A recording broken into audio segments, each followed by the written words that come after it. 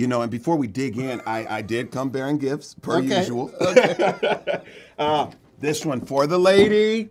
Brought you an extra apple. Oh, thank you. I knew this one was going to be rotten. Uh, so we have an extra apple.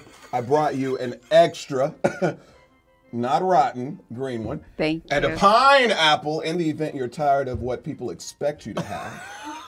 Apple juice if you just want to wash it down. That's for you, all right? Thank you so much. I so love that smile. It looks good on you. Of World- course, I brought you something. Okay. A Snickers because I know you're not eating apples.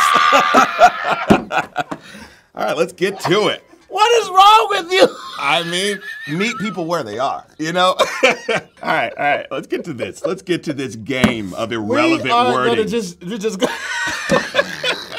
Have y'all seen this season? It's like so many words that have never been used. Even doctors are like, nope, didn't use that one. You know, it's like, who does this? But This- we're here. so it's a bridge. It's a land bridge. Mm-hmm. Wow, you were really close. It was. It's like. It's like you. You start there, and then you're like, no, I'm going to leap far away from this very rational thought of mine.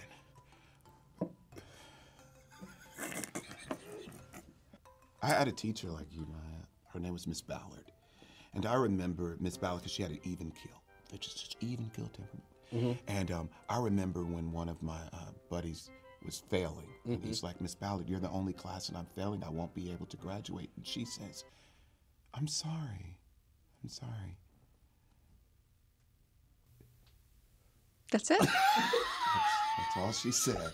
We want to insure this investment, this car, all right, with some protection in the case that something should happen. Maya? That is correct. That is to hear. correct. Ladies and gentlemen, this right here is black excellence. You understand me? Put, you, come on now. You know what? I don't even have to say black excellence. Let's just say excellence. You see it happening. You got it, I'm man. spewing with it. Happens to be black. Thank you. Fantastic. Yes, Thank you. correct. There's that confidence. You know, it's courage. It's courage, really. It's not really confidence. It's courage. Why, why you always come off like a motivational speaker? I'm here to help the people. All right, you know what? It was a village that helped me. I'm sick of these people. I'm your village. We can do this together.